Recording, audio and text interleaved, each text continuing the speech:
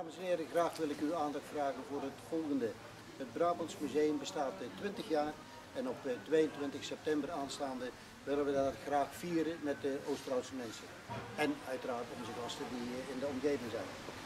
Het is een dag met muziek en demonstraties van handvaardigheden en voor de jeugd hebben we nog spelletjes. Het is zo dat wij van 11 uur tot 1700 uur open hebben. De toegangsprijs is 1,50 voor jong en oud. En vooral ook voor de jeugd is er gedacht. Ze, ze, kunnen allerlei spelletjes doen. Ze kunnen vierenberij. er zijn stellopen, repen, hoepelen. Dus er zijn een hoop mogelijkheden. Winkelen. En er is ook nog de baan voor de kegelen. U ziet het, er zijn genoeg activiteiten en vooral handvaardigheden zullen er verschillende zijn in diverse stands.